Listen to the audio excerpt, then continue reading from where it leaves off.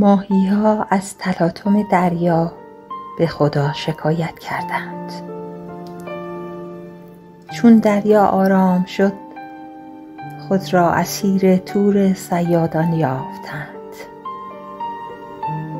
تلاطم های زندگی حکمتی از جهان هستی است. پس از خداوند بخواهیم دلمان آرام باشد. نه اطرافمان هر صبح خورشید فریاد می‌زند. آهای آدم ها کتاب زندگی چاپ دومی ندارد.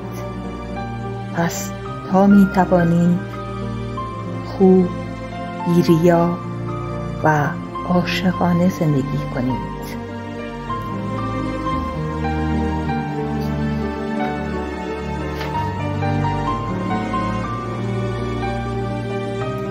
چشم گفت کوهی می بینم که از مه پوشیده شده. زیبا نیست؟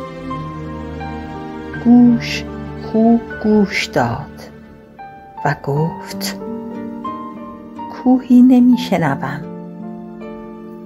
بینی گفت کوهی در کار نیست. من آن را نمی بویم